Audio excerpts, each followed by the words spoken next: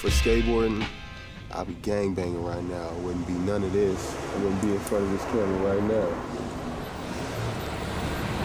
What's your ultimate goal out of skateboarding?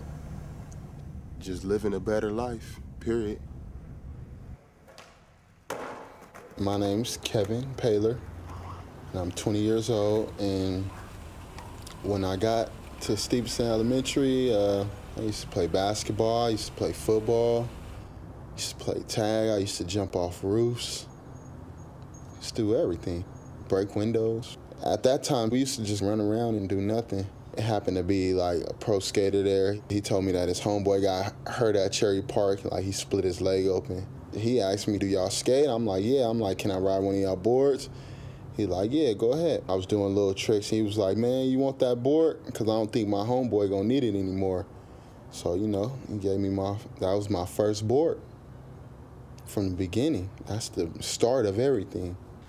My stepfather was a heroin addict, and my mom had to work two jobs to support three kids, and my stepfather's like drug addiction basically, because he wasn't working. So I didn't like my stepdad, so I was never home. And we lived in like a one-bedroom apartment. We had, you know, we were all in one room all the time. So I was like, I'm not going home. I'm gonna go skate. And the thing with the skateboarding, I think it was like, just accessible because I didn't need, I didn't need teammates. I didn't need somebody else to come and help me skate. It was just all that came out of my head. Whatever was like going on in my head, it would just come out in skating. When I started turning 16, I was on my own, trying to make it on my own, trying to work. I started skating. I graduated from high school. I was really bouncing around this friend's house to this friend's house to this friend's house, just trying to, you know, find a way to make it on my own. skateboarding pretty much it saved my life man because i grew up on the east side of long beach too and i didn't come from like a rich family and you know my family had problems and stuff like that when you're growing up as a teenager you're dealing with all this stuff in, in life that you don't really understand yet for me skateboarding you know was something that i could do by myself or with my friends and channel all that aggression and and all the problems in in your life and just put it into something positive Look at the cops. Look at the cops. Look out.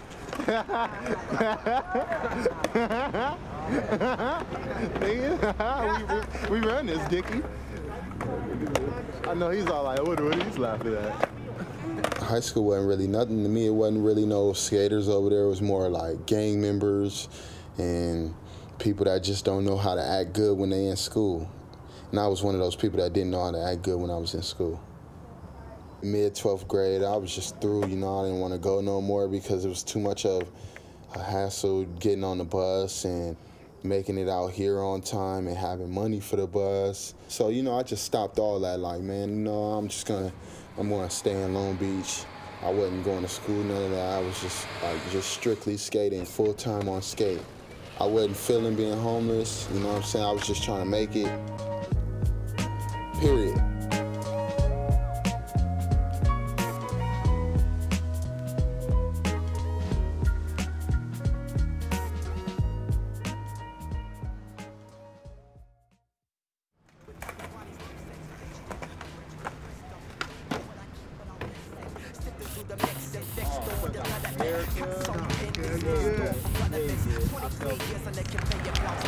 communication while awake receiving all the messages. A little work here, a touch up there, a lot of the assembly line. Right where it all comes together, one step at a time. A lot of the assembly line. To work it out, y'all. I work it out, work, work, I work it out now. I work it out. If you was to ask me, why are you not a felon?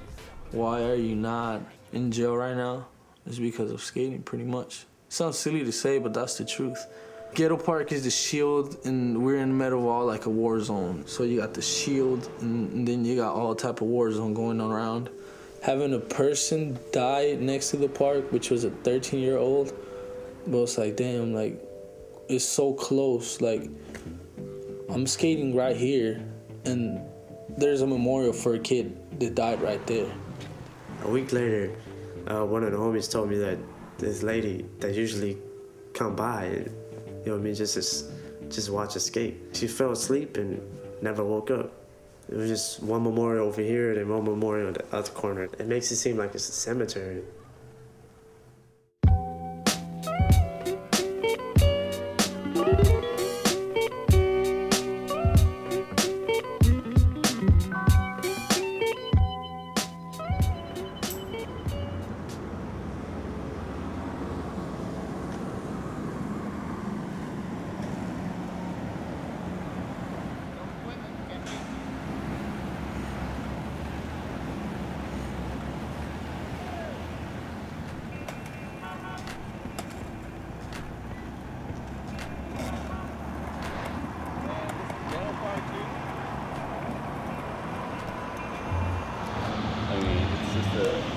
Park we come and skate.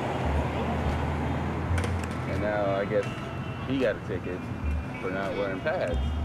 And I don't really understand. This just happened. Like, right there. This is whack. How much was the ticket? I don't know how much was it. Six hundred. You gotta go to court. I gotta go to court. It was six hundred bucks I think it's gonna be around six hundred bucks. for doing what? Victoria Park? Skating without like, a helmet and. It's six hundred dollars. Now, why don't you have a helmet? He has a helmet in the ghetto. Yeah, I haven't been a long time. I mean, Mikey, you have a helmet? Yeah. That's one guy I know. You got a helmet? I don't care. I ain't got a helmet.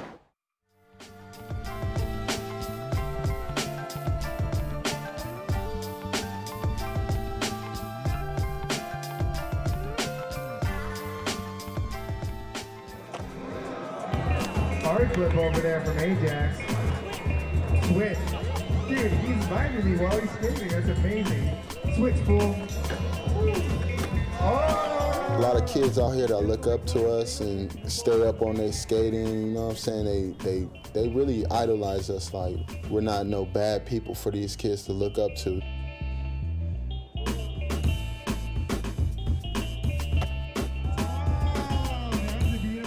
Daniel, he's little juice, you know what I'm saying? That's my little homie. It's not even like on a gang banging tip, you know what I'm saying? It's it's more of a more of a mentor. We're not gonna be teaching them anything wrong, you know what I'm saying? We're just gonna teach them skating and how to be the best skater they can be. All right, Isaac, what do you got? Ooh, uh, dude, Hammer City Riders right away. we saw these kids who were hungry to skate and were like super cool and it was like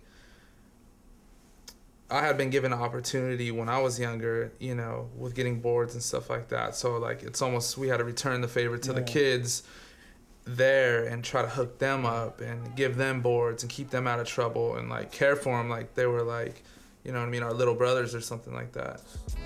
I remember way back when, when I was a young teenager rebelling in Long Beach, California. A man, those were the days, those were the days. I remember way back when, when I was a young teenager rebelling in Long Beach, California. Once you're around, you know, these kids more and more, you get to kind of get to know them, and you know who's, you know, you know who's kind of doing good and who's where people's heads are at, and just over the time period, you know, Mike for me always stood out because he had like a good heart, and you could mm. tell he wasn't like up to anything. He was just like he had a personality, and he was you could tell he was he was good hearted. Mike just caught on so fast. He caught on so fast. He was just up there like that.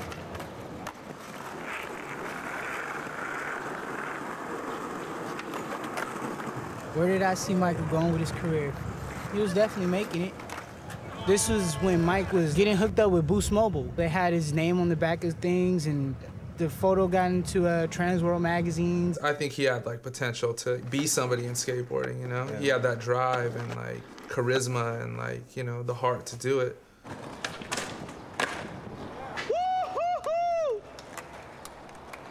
That's enough. Cut that off. What you got to say about that trick, Mike? Buttery. That was kind of crazy because I tried to do a trick off uh, some stairs and was a bunch of tiles. So like when I tried the trick, I slipped out and like banged my head on the ground, so I had a seizure. I blacked out. I don't remember anything. The only person that was there was Black Mike, and he was there to help me out. His older brother usually has he has seizures too, so he know what to do. Out of everybody, and you know what to do, and you saved my life. Like, you know what I mean? I love that dude. Cause if it wasn't from for that, it's just like I wouldn't even be skating anymore.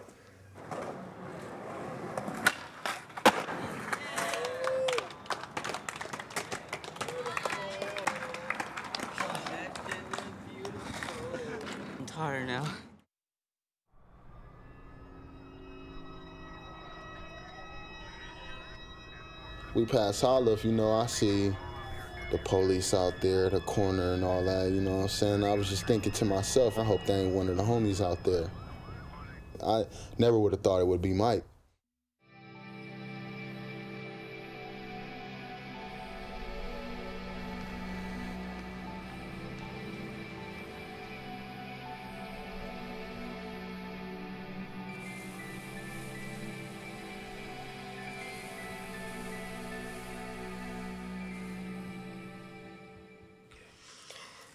Giving honor to God.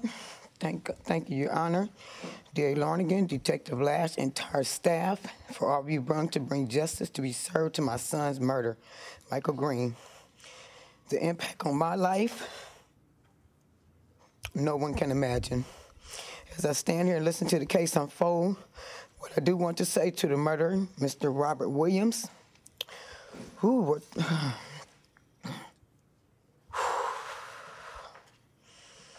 Mm. You have murdered a young man, Mr. Black Mike, as they call him in the streets, a positive young man. All he wanted to do was skateboard around the world. He wanted to keep a happy face. He was loved by many, taken away by stray bullets, which I can't understand nowadays. As your life haunts you over and over again, I just pray to God, don't quit. Please make peace with God. Please change your life, baby. God bless. Count one of the information wherein you were convicted of murder in the first degree, you're ordered committed to the Department of Corrections for a period of life with a minimum of 25 years. Because of the prior strike prior, that is double for a total of 50 years to life.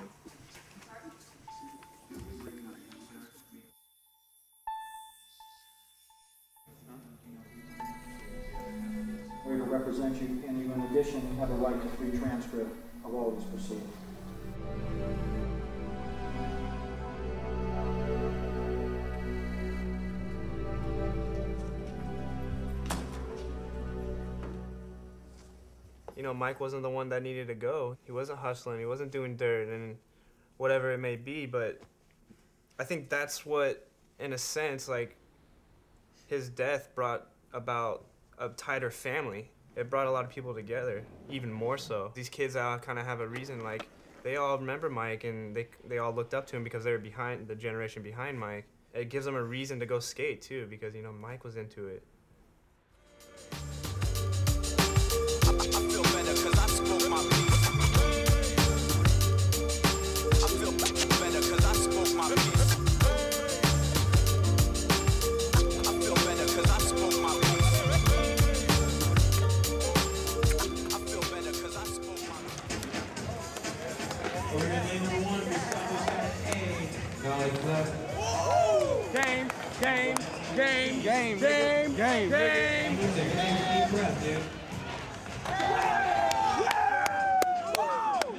Backing them Hammer City dudes because they're like really doing it. You know what I mean? Like on the grimy, like underground tip. Like they got real love for skateboarding. You know what I mean? And like that's inspirational to me because you know like I dedicated my whole life to skateboarding pretty much. What's Hammer City? Hammer City is a is a family. Hammer City is HCSG, is uh, Hammer City Skate Gang. Hammer City is love, really. Not actually a gang. What it means in the dictionary, you know? More than five people. It's just a bunch of friends just coming together and making their own skate company. Hammer City is just a Black Mike representative. Skating has to be involved in your day, in the daily basis. We want everybody to stay positive about skating, and we're showing that if you have an opportunity, take it. Why not? You know, Mike had his opportunities, he took them. We basically want as much people as we can get. Little kids, older kids, you know what I'm saying? We trying to we trying to build an empire here so when when we do get too old to skate, you know what I'm saying, we'll have people carrying on. African Americans in Long Beach wasn't big on skating. You know what I mean? They weren't big on it. But to see Terry and Mike being as good as they were and to come out of Long Beach, that's big, man. So a lot of kids started kind of picking up on what they're doing and was like, wow.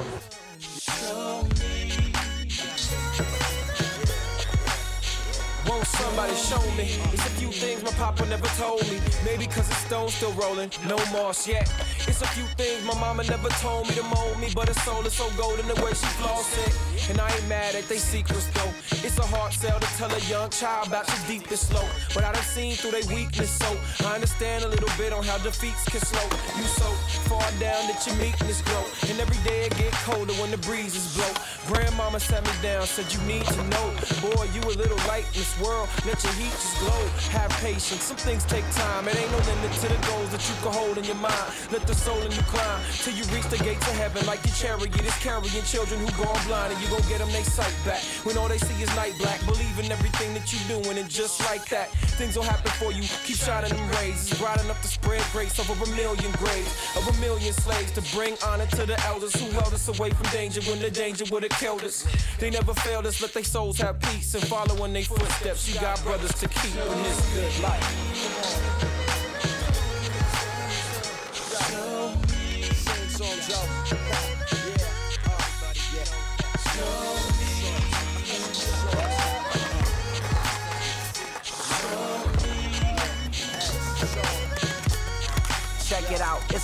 I can show you without rolling through Beverly Hills, without money, cars, clothes, or even ecstasy pills. I don't need weed to ease me when I'm stressing for real. I just close my eyes and try to think how heaven feels just to feel good again. Even though I know when I open them, it's back to the hood again with kids hold chrome with them just to feel protected. Cause the videos I showing them how to shoot fools and take their dough from them. That's why I try to give my soul to them. The lyrics I spit, they reject it cause they stressing for material. Getting sick and tired of fighting over serial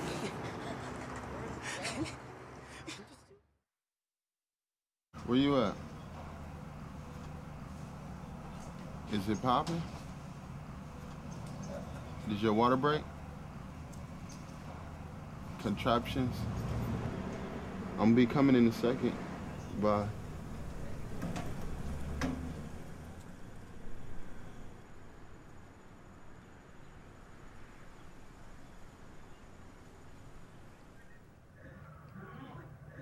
So, hey, what were your last thoughts before you become a father? The skater die. You're ridiculous. Watch out, your stomach is tightening up. No, it's not. You didn't tell me. Any last thoughts before becoming a father? Huh? Well, it changed the way I am now, and it changed the way I skate. Like, cause I gotta adjust my time. You feel me? I be able to get up, and walk around with her. You know. As far as like skating every day, being outside. You know what I'm saying? All day, every day, seeing everybody. Like just being on every block, chilling and smoking, drinking, all in like the whole day. It ain't none of that. You feel me? Do none of that no more.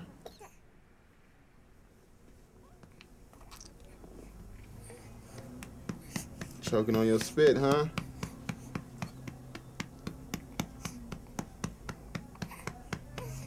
That's know what big kids do.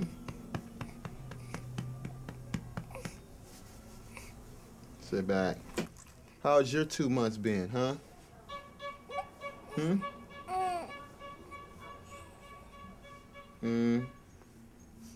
Huh? Back in the day before I had a kid, it was daytime, nighttime. Whenever I felt like drinking, I was gonna drink, you feel me? But yeah, it's changed it's changed me a lot. I think everybody should have kids. Daredevil My daredevil. Sent Sunday, August 24th at 11.55 a.m. Your detailed message is from Juice. My nigga Queese got shot. Well, I don't know what time it was last night or today. But yeah, yeah, St. Mary Hospital. message is important. Get back.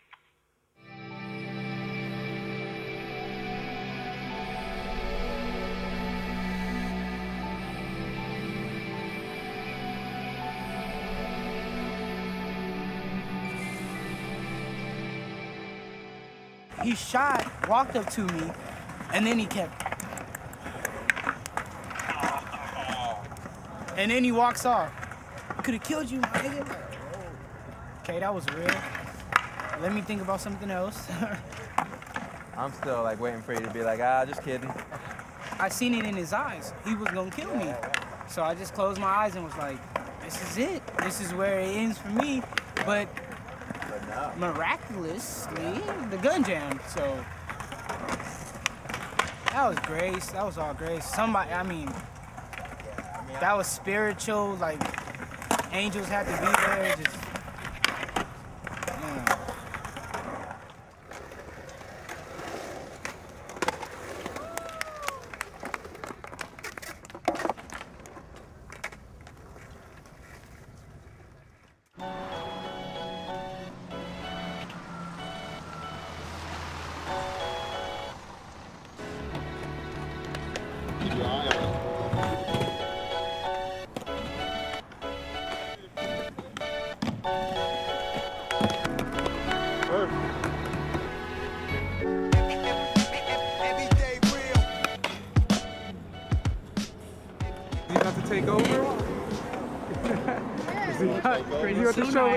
Show? Is he about to show juice up? Pretty soon.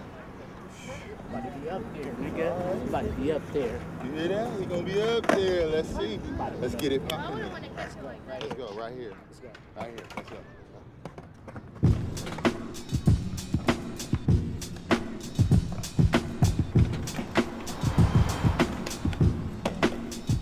So what do you think for him? What's it gonna take to keep keep him out of trouble? Keep him focused? Stay on that skateboard. That's what he needs to do. That's what's gonna keep him out of trouble, keep him focused if he stay on that board. What, what grade you in now? Tenth. Tenth grade. So what you plan to do with, with life and everything? Right now, after, after school. Uh, right now and after school, what you Right what you now, plan on my doing? skate tip, man. Just trying to make it in my skating business right now. Pretty much about to get a job in a couple of months. You get a job? You- wait, where are you gonna get a job at? I'm get a job at Ralph's, man. They, get, they hire you when you're 16. What you gonna do at Ralph's? I don't know, my nigga, whatever they need me to. I heard they pay good, my nigga. My, my homie works there. Everyone has responsibility. Jobs, jobs isn't an issue right now. Things are tough. Things are hard. And the Lord knows where we're headed at this point, and what we need just through the fightings, what we've been fighting for. You know, we've been fighting for Black Mike. We've been fighting for our skate park to get better. We've been fighting for our kids to get off the streets. We've been fighting for things that people don't appreciate or don't believe in, but we've been fighting and we still fighting to this day. And I know it never get worse, it only gets better. You know, that's my motto. You know, and we feel like can't nothing break our spirits at this moment. The joy inside is fortified. The more we strive for the truth, avoid lies within our short lives. Appreciate every breath, you heard it before. But take heed when death is literally knocking at your door. The way I live life is J. Christ or bust. And when it's me and him together, no one's nice as us. But my man from round the way ain't liking life so much. Cause every few months, a loved one bites the dust. But I can see pregnant women giving birth to this. A classic being performed when the curtain split. A big smile on your face when you purchase this. And if it rocks one soul, then it was worth the stick. When life hits hard, this is the song to put on. Giving you hope, like when the villain smack the grid on. And the unsung hero finally gets his props in a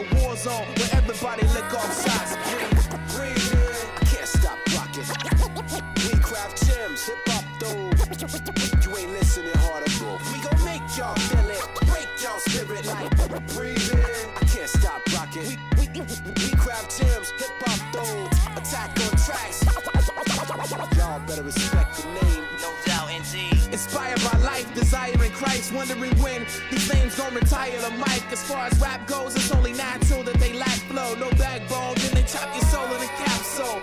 The greatest to ever do it isn't dead yet. This is a local cat, most step told you that.